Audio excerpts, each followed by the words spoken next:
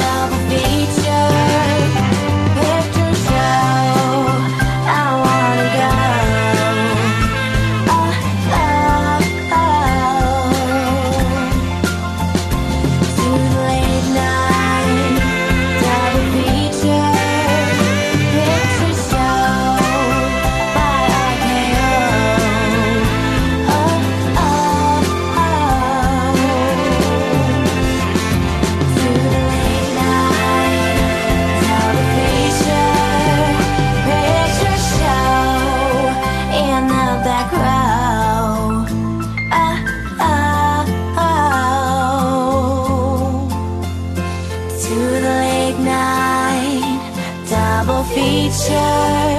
Pit